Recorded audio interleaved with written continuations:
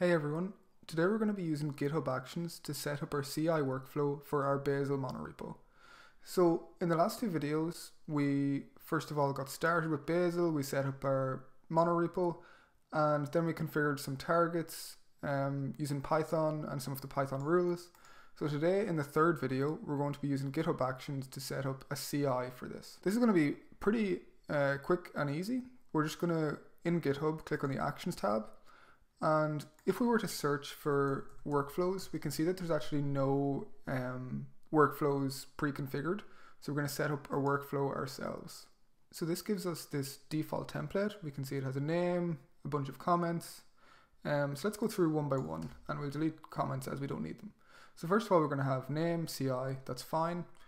Uh, next we can see on, and this controls when it's going to run. So we want to run it whenever we push to the main branch or whenever a pull request is created against the main branch.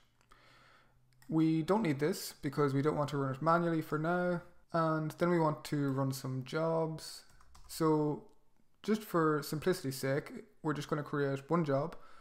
And this job is going to be called CI. And we're going to run this job on Ubuntu.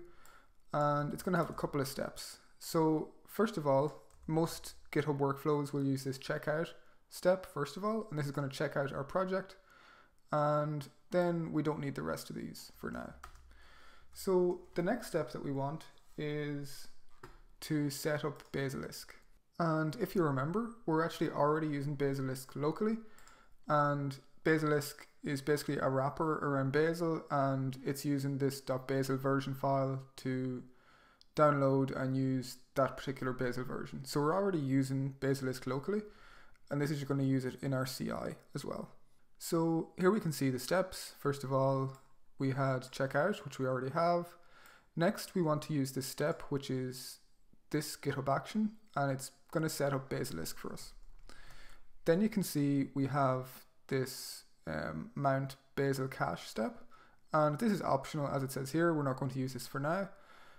And you can see once we've used this set up Bazelisk step, we're then able to invoke Bazel commands, just like this. So let's first of all pass in this. And then we're just going to do run. And we're going to run Bazel build first of all. And we want to build our entire monorepo. And then we're just going to do Bazel test.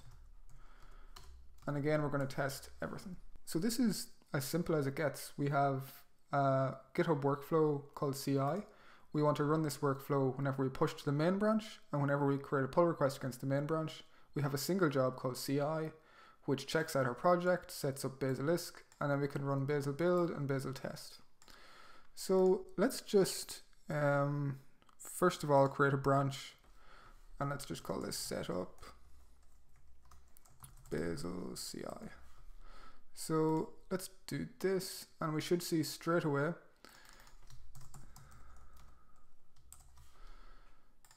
that whenever we create the pull request, we should have this action running. We can see on the PR now, we have this CI build happening. If we click on this, we can see each of the steps here that we defined. We have the job called CI. We have, it's already set up Bazelisk. We're now running Bazel build. It's then going to run Bazel test. And this is building and testing our entire monorepo. So we can see it's found our five build targets, built all those. It's found should just be one single test and it executed that and everything was successful. So we can see now that the CI completed successfully. If we refresh now, we can see that there was one check, which was successful in 32 seconds. That's very quick. And let's just merge this pull request. So now going back to our project, as you can see, we haven't pulled main yet because we don't have this .github directory. So let's just do git pull origin main. And this should create the GitHub directory for us, and we have it here. So let's just do git checkout to a new branch. And let's just call it failing test. So here we had one test target and we're basically testing our calculator class that when we add 1 and 2 we get 3 let's just change this to a 4 and save. And let's just add and git commit this change and let's push it. And we're just going to create a new pull request just to verify that if a test is failing the CI is actually going to recognize that so failing test we should again get the GitHub action running so I'm guessing if we use the cache functionality, we might get some things for free, but we didn't use that. It's fine because we have a pretty small project. So it's currently building five targets.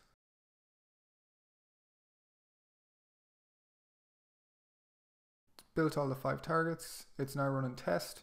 We can see that the test step actually failed as we expected and we get this exit code. Notice that we don't actually get any more details about that and this would be the same locally. So if locally we were to do Bazel test everything, we can see we don't get any more details, but we do um, get this log file, which if we were to look at that, we can see that 3 does not equal 4, and that's the, the assertion error. So we get the same output here as that. So that's basically it. And we can see over in our PR now that we get this indication that the CI failed, so we wouldn't um, merge this pull request. So this has been how to set up GitHub workflow for a Bazel project using GitHub Actions. Next time we might take a look at another language, maybe something like Golang, and create some packages in our monorepo with a different language. Thanks for watching, and I'll see you next time.